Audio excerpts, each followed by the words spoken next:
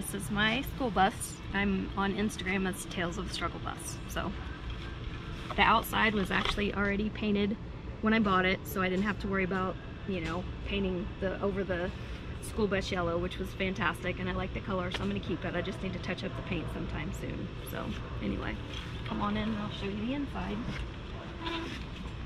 Should I turn on the lights in here? Be a little bit easier.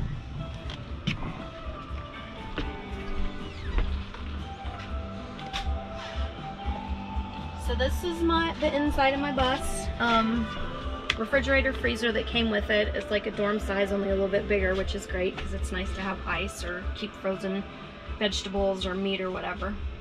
Uh, this is all kitchen area. This is where I have my water storage. I don't have a, a water tank. I just keep gallons of water here and have pretty easy access to it. It doesn't bother me to have to fill up the my little canteen thing here.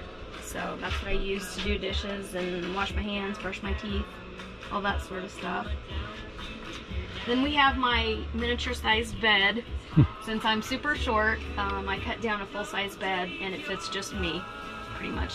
So it works because it doesn't take up that much room in the in the bus.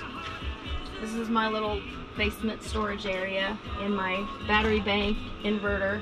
I've got three batteries under there and then I've got 600 watts of solar on the roof. So it's pretty awesome. Then I got a bucket toilet, which works fine for me. Um, my closet area. I've rearranged this a couple of times because I was like, I don't need that many clothes. But then once I was working, I was like, I do need some more clothes. So Yeah, mine, mine went from about that size with two rods to one rod to now 10 inches. yeah, when you're on the road, it doesn't, you don't really need all that many clothes to, to get by for sure. No, I have enough t-shirts and socks to get through a month. There you go. Um, this is all my craft area. I do a lot of paper crafting and actually all kinds of crafting. So that's got all of my crafty stuff in it.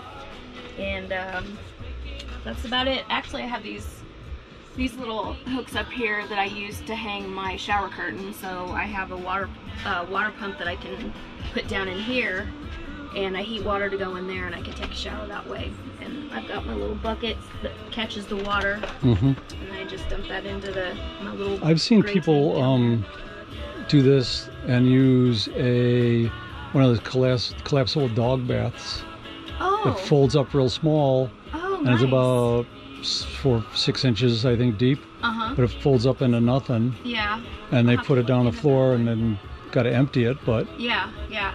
That's a good idea, especially if it's collapsible. Then it takes up less room. yeah, and that's all. nice. Especially with a, a shorter bus.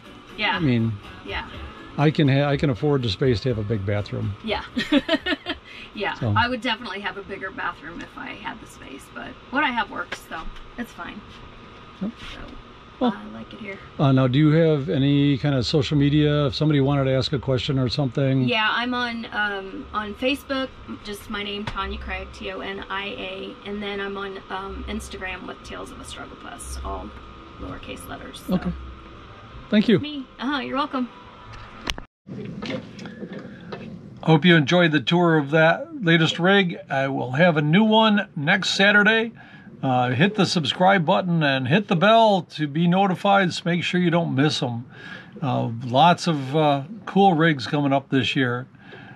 See you down the road, my friends. Stay safe.